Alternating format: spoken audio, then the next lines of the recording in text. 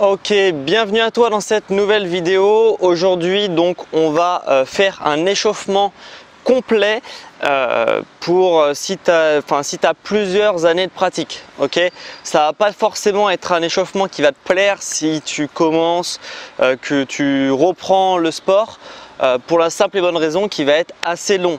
Et je sais, euh, trop souvent que bah, les débutants malheureusement ne sont pas attirés par ce type d'échauffement bah, parce que tu vois pas forcément l'utilité d'avoir euh, un échauffement qui est long quand tu es débutant.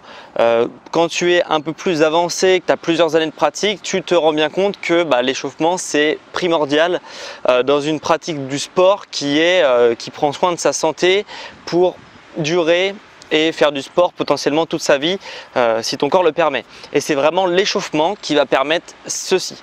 Euh, donc dans cette vidéo, tu vas peut-être découvrir trois clés qui permettent d'avoir un échauffement qui est hyper euh, performant. À la suite de cet échauffement, tu vas pouvoir t'entraîner très très durement sans craindre euh, des euh, blessures qui peuvent arriver justement à cause euh, d'une surcharge, voilà, d'une surcharge due à justement une non montée en température du corps. Ce qu'il faut bien comprendre, c'est que l'échauffement, tu vois, c'est un petit peu comme quand tu allumes un four. Ok, tu allumes un four et le four, il n'est pas tout de suite à 220 degrés il monte progressivement en température. Et c'est exactement ce qu'on va faire, ce que je vais t'apprendre dans cette vidéo, c'est cette montée en température pour après arriver à 220 degrés et euh, justement pouvoir faire le maximum euh, de produire le maximum de force, d'endurance, de vitesse, de ce que tu veux euh, en fonction justement de ton échauffement et de cette montée en température.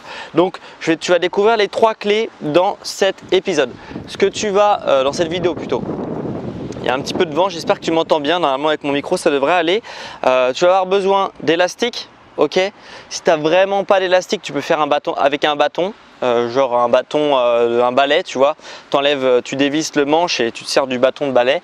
il, existe aussi des bâtons de gym ou des élastiques. Les élastiques c'est le mieux parce que ça peut te permettre de t'échauffer et de faire plein d'autres choses aussi.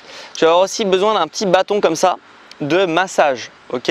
C'est la première partie que tu vas découvrir dans cette vidéo, c'est la partie massage et c'est celle qui est trop souvent délaissée. Pourquoi on se masse? Euh, Tout simplement parce que euh, tu as, euh, si tu veux, tu les muscles. les muscles, ça permet de, faire des actions. Quand ils se contractent, ils permettent de tirer une articulation. Autour de ce muscle-là, tu as l'enveloppe du muscle qu'on appelle les fascias. Tu n'as peut-être jamais entendu parler de ce monde-là, ou peut-être que tu as déjà entendu parler de ce nom-là, mais en tout cas les fascias c'est l'enveloppe du muscle. Et pourquoi du coup on se masse Tout simplement parce que quand tu vas masser ton muscle, il se peut que, enfin si tu ne masses pas ton muscle plutôt, il se peut que l'enveloppe et le muscle à l'intérieur soient un petit peu, euh, il y a des adhérences si tu veux comme ça, qui permettent du coup, euh, bah, qui empêchent le muscle de bien se contracter ou se bien s'étirer. ok? Et en massant ce fascia, c'est ce qu'on va faire avec le bâton de massage, et bah justement tu vas pouvoir qu'il y, ait moins d'adhérence entre euh, l'enveloppe et le muscle. Et du coup ça va être quelque chose qui va être beaucoup plus euh, bah, qui va nous servir pour la séance de sport d'avoir une, parfaite, euh, une parfaite synergie entre le fascia et les muscles et que le muscle puisse bien coulisser. Ce que je vais faire, c'est que là, je vais te montrer un petit peu ma routine que je fais pour, euh, bah, euh, l'automassage. Ce qu'on va faire, c'est que c'est pas forcément intéressant que je t'explique à chaque fois tout, je pense. Donc, euh, je vais juste accélérer la scène et je vais te montrer ma petite routine pour la partie, la première clé, donc les automassages.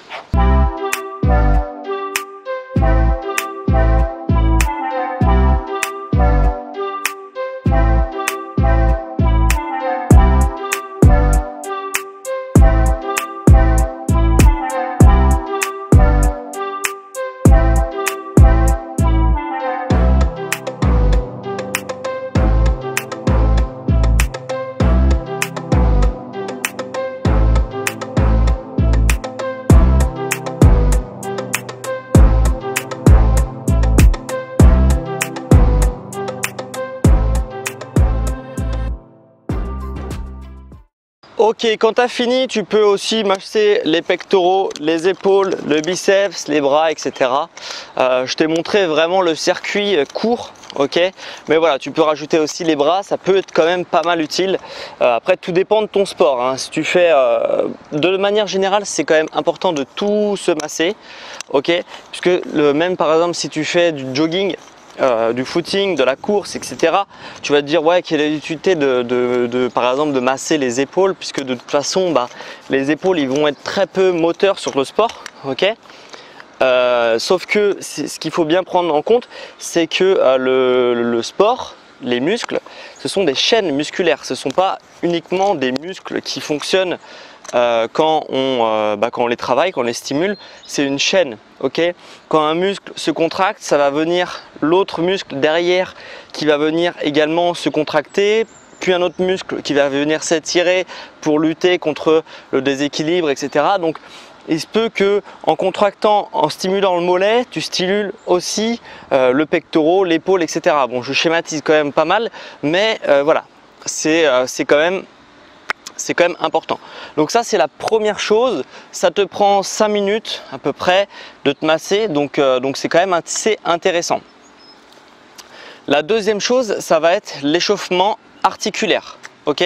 Donc l'échauffement articulaire on va avoir besoin euh, de d'un élastique pour cet échauffement articulaire pour notamment les épaules. Euh, et on va avoir besoin aussi du poids du corps ok? Donc je te montre comment je, moi, moi je m'échauffe. Euh, ça, ça te prend aussi à peu près 5 minutes ok? De d'échauffer les articulations ok? Donc premièrement ce que je fais des petits mouvements comme ça. ok? Pourquoi faire des mouvements comme ça dans un, sens dans l'autre? Pour euh, justement bah, mobiliser le poignet, pour bien lubrifier l'articulation, ok euh, Puisque bah, il y a un liquide, euh, ce qui s'appelle le liquide synovial qui est à l'intérieur de l'articulation, qui est de base, tu vois, il est, il est, il est comme, comme quand tu as de la graisse qui se fige, ok C'est un liquide qui est figé de base et c'est la montée en température qui va permettre de le rendre liquide pour lubrifier les articulations. Le truc c'est que euh, en fait quand tu fais des petits mouvements comme ça, alors déjà tu stimules l'articulation mais la friction que tu vas donner, ça va permettre de monter en température l'articulation et donc de rendre liquide le, liquide synovial qui est de base, euh, qui est de base figé. c'est pour ça qu'on fait des mouvements également qui peuvent être au début assez doux et après de plus en plus rapides pour bien chauffer le liquide synovial. Donc là, on fait les poignets. Tu peux aussi faire comme ça pour réchauffer euh, les, les, les, euh, comment les os du, de l'avant-bras, notamment si tu fais par exemple, moi j'aime bien faire des, des handstands des, euh, où tu es, où sur les mains et tu essaies de tenir en équilibre et souvent en fait tu as, ton, ton articulation, tu as tes deux os ici qui se, qui se croisent donc c'est bien les quand tu te loupes et c'est donc c'est bien quand même de les échauffer pour éviter justement les fractures. Voilà, donc on peut faire aussi comme ça le coude, ok, en essayant de pas trop claquer le coude, on, s'arrête un petit peu avant, ok, sinon tu peux avoir quelques douleurs. Voilà, donc ça, ça prend euh, une minute, coude et poignet. Après, on passe aux épaules ok Les épaules, ce que j'aime bien, c'est travailler à la fois les épaules et la mobilité, la mobilité du bassin, ok Donc ce qu'on fait, ce que je fais généralement, ce que j'enseigne aussi à mes élèves, c'est de se placer en squat. Donc déjà, pour beaucoup de personnes, c'est assez compliqué de se placer comme ça. On essaie de se grandir un maximum et hop, on mobilise l'articulation de l'épaule. ok? On commence par le plus simple, le moins contraignant, pour arriver sur le plus contraignant. Donc le moins contraignant, c'est d'avant en arrière. Plus tu vas rapprocher les mains ici, plus ça va être compliqué de passer derrière. Et là, tu vois, je suis bloqué, j'y arrive plus. Ok Donc, mobilisation en squat, tac, tac, donc tu te mets dans la position du squat que tu arrives le mieux, ok Et après tu fais les mobilisations articulaires. Après on vient faire des rotations au niveau des épaules. Donc ça c'est un peu plus contraignant. Rotation avant, rotation arrière, ok Tu fais ça pendant une, deux minutes et après t'arrêtes. Donc là on est à, à peu près 7 minutes d'échauffement automassage compris, ok. Après, donc on a mobilisé un petit peu le bassin, déjà comme ça, ce qu'on va faire, c'est qu'on va venir, tac, ici, mobiliser la rotation de hanche, ok Ça, ça va permettre de vraiment de, lubrifier toute l'articulation du bassin. Et après, on peut finir sur les genoux. Donc ça, tu fais ça pendant aussi 30 secondes, 45 secondes, etc. Et après, on vient lubrifier les genoux, ok? Après, il y a deux écoles. Il y a deux écoles pour les chevilles. Ok, donc là les genoux, au bout d'un moment, ils commencent à être, euh, commencent, euh, à être échauffés. Il y a deux écoles pour les genoux et les chevilles. Il y a ceux qui vont te préconiser les mouvements circulaires comme ça. Euh, de manière générale, je ne le conseillerais pas. Je préfère les mouvements avant-arrière, ok? Sauf que le truc, c'est que si tu as des sports où tu as des changements de direction, etc., il se peut que ton genou change de direction ok. Enfin que du coup tu sois amené avec des genoux avec beaucoup de pression sur le côté comme ça. Et ça le genou il aime pas. Donc autant le mobiliser si tu as un sport, par exemple si tu fais du, foot etc et que le genou des fois bah, sur des appuis qui sont, un, qui sont un peu instables et bah ton genou peut venir vers l'intérieur, je te conseillerais directement d'inclure ce type de pratique là euh, dans ta routine d'échauffement. Si tu es sur de la musculation, de la, course en ligne droite, etc., il n'y a pas l'intérêt parce que le genou de toute façon, euh, tu n'as pas 90 ans normalement, donc le genou il va pas rentrer vers l'intérieur sur de la course. Euh, c'est très très rare, sauf si tu vas sur des terrains glissants. Donc voilà. Donc si tu n'as pas besoin de changer de direction de manière brusque dans ton sport, contente-toi d'avant en arrière comme ça et sinon tu peux faire des rotations légères du genou si tu as des sports qui demandent, euh, qui demandent euh, de la euh, mobilité de genou. Donc après, pareil pour la cheville, d'avant en arrière. On peut aussi faire des petites montées pour échauffer, commencer tout doucement à échauffer les muscles, les muscles du mollet. Ok, c'est ce que je te conseille. Et sinon, si pareil, si changement de direction, tu peux faire des rotations. Sinon, on oublie. parce que de base, le corps aime pas trop l'articulation de la cheville et euh, du genou n'aime pas trop tout ce qui est rotation. Donc ça c'est pour la deuxième partie, donc encore 5 minutes, 5 minutes d'échauffement, 5 minutes d'échauffement articulaire, enfin 5 minutes de massage, 5 minutes d'échauffement articulaire. Donc là on est à 10 minutes, ok 10 euh, minutes d'échauffement, on, va, on a encore 3 minutes euh, d'échauffement, ok ça nous fera 13 minutes en tout, à peu près. ok le, le les, trois dernières minutes, ça va être un échauffement qu'on va appeler musculaire. Alors c'est le début de l'échauffement musculaire. Euh, je vais te montrer ce qu'on va faire. On va échauffer les mollets. Donc comme tout à l'heure où je te montrais pour les chevilles, bah là on va faire ça pendant 30 secondes. Ok Pour commencer à échauffer les mollets. Où on va venir justement monter et descendre. Si tu peux surélever un petit peu le, euh, le devant du pied pour justement monter et descendre surtout plus bas, tu peux aussi le faire. Donc sur une petite marche, hop, tu peux te mettre dessus pour avoir plus d'amplitude sur le mouvement. Euh, deuxième muscle qu'on va échauffer, on va remonter. Donc là, on a fait le mollet, un peu le péroné antérieur, hein, ici. Et là, on va faire les ischios. Donc là, ici, talon fesse. Ok? Tac, tac, tac. Pendant 30 secondes. Donc là, on a une minute. Ce que je te conseille, c'est plutôt de faire 15 secondes, 15 secondes, 15 secondes, 15 secondes. Donc 15 secondes avec le deuxième, euh, le deuxième mouvement où on va encore une fois descendre de plus en plus bas pour rester vraiment sur la partie basse du squat, ok, avec les pieds joints.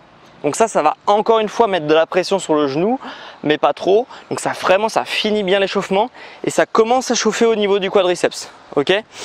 Donc 15 secondes, 15 secondes de talon fesse, 15 secondes, euh, voilà, donc tu fais deux fois en gros, ça te fait une minute au total, 15 secondes, 15 secondes, 15 secondes, 15 secondes. Donc là, on a fait à peu près le bas du corps. Et après, on va venir euh, faire la hanche. Donc la hanche, ce que j'aime bien faire, c'est de le combiner avec un petit travail au niveau des abdominaux. Ok? Donc au niveau des abdominaux, ce qu'on va faire, c'est qu'on va se mettre en position de planche. On va venir ici sans reposer le genou au sol, ok? Ça va permettre d'échauffer le psoas, ce qui est un muscle de hanche, et après on vient ouvrir, ok? On revient, on revient.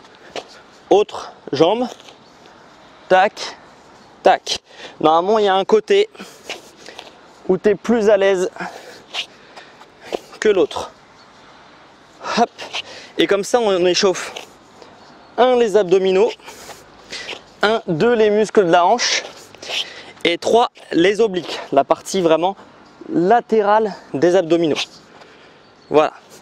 Et une fois qu'on a fait ça, et les épaules aussi, donc 4 en 1. Donc, puisque les épaules sont moteurs pour te repousser du sol. Ok? Et après, une fois qu'on a fait ça, tu peux, euh, si ça te fait plaisir, faire 5, euh, 10 pompes pour vraiment échauffer aussi tout ce qui est ceinture scapulaire. Et après, c'est terminé. Après, ton échauffement est terminé. Donc, après seulement, tu vas pouvoir passer sur une montée progressive en charge. Euh, c'est-à-dire par exemple si tu fais du sport, si tu fais du sport à haute intensité, comme par exemple de la musculation, où on va venir chercher bah, les répétitions maximum qu'on est capable de donner, ok, et bah là tu vas devoir monter progressivement en intensité. Admettons tu fais du squat à 100 kg, bah tu mets 30, 50, 60, soit 80 et après pour faire ta série de travail, au bout de la cinquième série, tu peux faire ta série de travail à 100 kg. Ok, donc voilà. Et ça c'est bon, ça normalement je t'apprends rien. Tu sais comment on fait un échauffement comme ça. Euh, ça c'est euh, la partie basique, le niveau 1 des échauffements. Donc, euh, donc voilà, avec ça, euh, tu as vraiment de quoi faire. ok Je t'invite à essayer et tu verras que normalement tes performances vont augmenter en faisant euh, ce petit effort justement d'échauffement, de prendre soin de ton échauffement, ça va te permettre aussi d'augmenter tes performances sportives, donc c'est ça qui est quand même cool. Et en plus de ça, tu vas beaucoup moins te blesser, donc c'est vraiment parfait. Donc comme je l'ai dit, je suis au courant que si tu es débutant, tu ne vas pas, ça va te faire chier de faire ce genre de routine d'échauffement, ok? Parce que tout simplement, bah, c'est long et que euh, quand on est débutant intermédiaire, on a envie tout de suite de faire la séance de sport et d'être débarrassé, mais quand tu as un certain euh, niveau, entre guillemets, ou, du moins que tu as une que tu as, as, beaucoup de pratique, bah, tu as quand même envie euh, de durer et de pouvoir faire ce, ton sport toute ta vie. Donc c'est quand même euh, hyper cool. Et en plus, pour les débutants intermédiaires, généralement, le truc qui se passe, c'est que bah, ils, arrivent sur ce type de routine d'échauffement parce que ils se blessent et ils se disent c'est pas normal que je me blesse. Bah si c'est normal de se blesser. Si après, en amont, on n'a pas, euh, une bonne routine d'échauffement et de perdre 15 minutes parfois par séance, bah euh, tu les rattrapes quand tu te tapes 2, 3, 4, 5, 6, 1 an de blessures où on ne peut pas s'entraîner correctement. Donc ça c'est euh, bah, voilà. Et en plus de ça, ça te permet de progresser plus vite puisque tu as une meilleure performance durant tes séances de sport avec ce type d'échauffement. Donc je t'invite à essayer, si tu as quelques années de pratique et que tu faisais peut-être un échauffement qui était un petit peu bâclé, je t'invite à essayer cette routine d'échauffement et tu m'en diras des nouvelles. En tous les cas, on se retrouve mercredi prochain pour une prochaine vidéo. J'espère encore avec un beau soleil comme ça. Là, c'est la fin de l'hiver, donc c'est juste parfait. Première fois que je tourne une vidéo dehors, donc euh, donc c'est parfait. Et euh, si tu veux récupérer euh, cette routine d'échauffement, si tu veux la récupérer en version PDF pour l'avoir sous les yeux pendant que tu fais tes séances de sport, enfin pendant que tu t'échauffes pour ta séance de sport, et eh ben, tu peux télécharger mon PDF où il y a un récapitulatif de tout ce que tu dois faire en description. Ok? Donc tu as juste à cliquer en description et récupérer ton PDF pour tes séances d'entraînement. Voilà, donc on se retrouve mercredi prochain pour une prochaine vidéo. Ciao les sportifs